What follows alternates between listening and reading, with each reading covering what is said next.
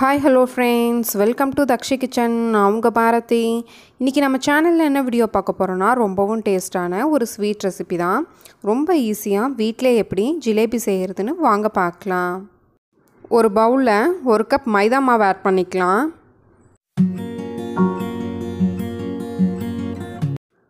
மூணு tablespoon cornflour மாவு add பண்ணிக்கலாம். பேக்கிங் சோடா கால் டீஸ்பூன் ஆட் பண்ணிக்கலாம். கால் டீஸ்பூன் ஃபுட் கலர் ஆட் பண்ணிக்கலாம். மூணு டேபிள் ஸ்பூன் தயிர் ஆட் பண்ணிக்கலாம்.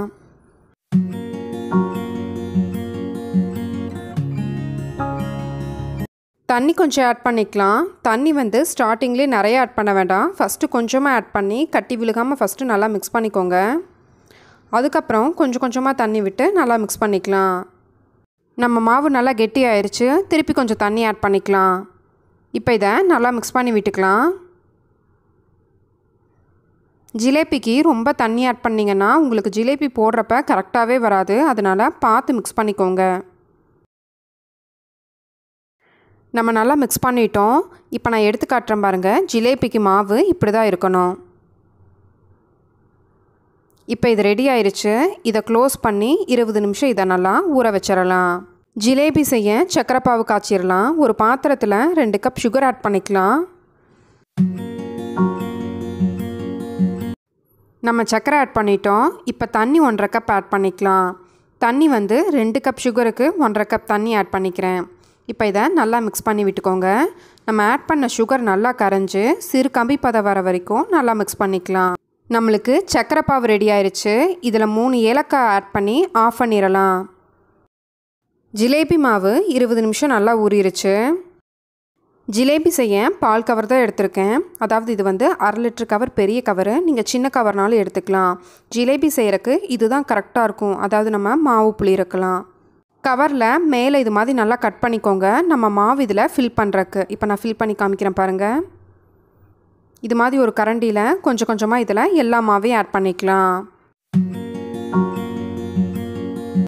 நம்ம மாவு ஆட் பண்ணிட்டோம். ஜிலேபி போடுறப்ப மாவு வெளியே வராமல் இருக்கிறக்காக இது மாதிரி ஒரு லப்பர் பேண்டு போட்டுக்கோங்க.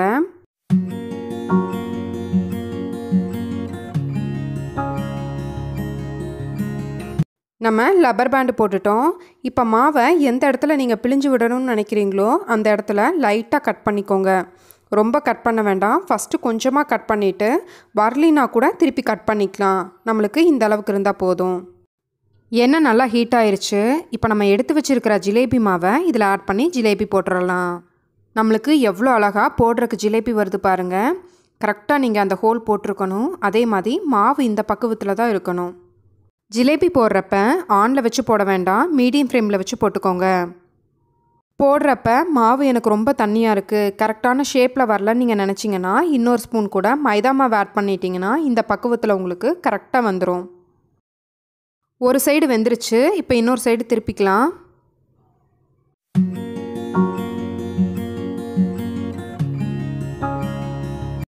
நம்ம ஜிலேபி ரெடி ஆயிடுச்சு இப்போ இதை எடுத்துடலாம்.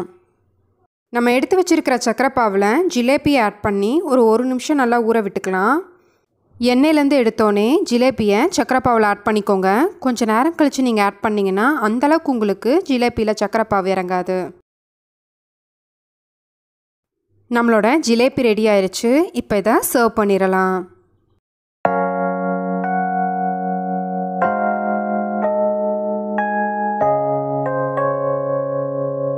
அவ்வளோதான் ஃப்ரெண்ட்ஸ் ரொம்பவும் டேஸ்ட்டான ஜிலேபி வீட்டில் எப்படி ஈஸியாக செய்கிறதுன்னு இந்த வீடியோவில் பார்த்தோம். இதை நீங்களும் ட்ரை பண்ணி பார்த்துட்டு எப்படி இருந்ததுன்னு மறக்காமல் கமெண்ட்டில் சொல்லுங்கள் இந்த வீடியோ பிடிச்சிருந்தா லைக் அண்ட் ஷேர் பண்ணுங்கள் நம்ம சேனலை மறக்காமல் சப்ஸ்கிரைப் பண்ணிக்கோங்க. Okay bye friends